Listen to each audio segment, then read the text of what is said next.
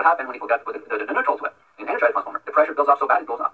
So I'm not inventing that. You know, I'm not making it. It's just the way it is, right? So, so for therefore, you know, if the AC is made in your transformer, my question is, for all the farmer in the industry, they own their own transformer, why the fuck are you paying watts for? Because there's no watts coming out. There's no amp coming out of that. That line is called potential. It's not back into this. Uh, you cannot manipulate. You have to be. You have to remove the sine wave. And you can only remove the sine wave. You cannot do it electronically. You cannot do. It's got to be do done by spark gaps. And you can do vacuum spark gaps. You can, you know, and, and we're wondering, why can I buy communication gas? Right? And I showed those things before. Right? That's for communication. Right? There you go. See if we can. Uh, there you go. Right? That's a gas. And that's for communication system. Because they know they can't send nothing if it has a, a, a, sine wave into it. It's not a square sine wave. You know, it, it just doesn't work. So by researching and, and, and, digging and stuff like this, and, and, and, you know, listening to other people work on power plants, stuff like this, and the accident happened in power plant, and, and, and all around, it makes you know it makes no sense the way they say power works, the way it's supposed to work. It, it makes no sense. Then you start testing their their, their theory and put their theory put it together, right? It doesn't work. So I mean, like you know, it just doesn't work. You're wasting your time.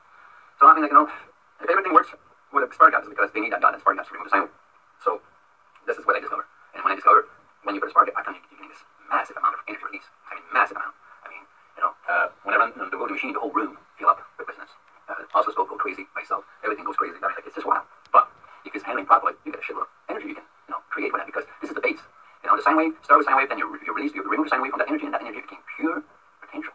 All you have to do is manipulate that potential properly new generator like this one here easily. Soon we got the, the controllers, and I, that's why I'm, I'm getting after YouTube because I got I got to work on this controller seriously and